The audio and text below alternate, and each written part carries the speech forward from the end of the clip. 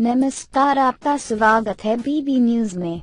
कई नदियाँ देखी हैं हैं, आपने उनके ऊपर बने ब्रिज भी देखे हैं, जो बहुत ही खूबसूरत लगते हैं। उनके ऊपर से गुजरना एक अलग ही अनुभव देता है, लेकिन क्या कभी नदी के ऊपर फुटपाथ के बारे में सुना है या कभी सोचा है?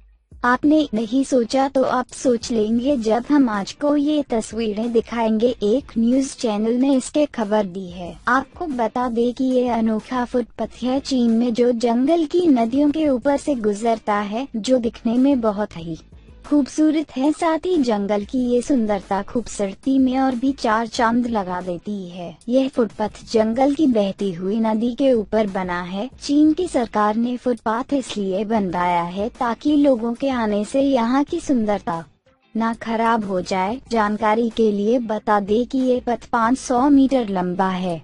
यानी आधा किलोमीटर लंबा, ये चीन के हुबेई प्रांत में बना हुआ है, शिजुगुआन रिजोर्ट नाम के व्यक्ति ने बनवाया है और ये संडे के दिन लोगों के लिए खुला रहता है। लोगों के लिए खुला रहता है।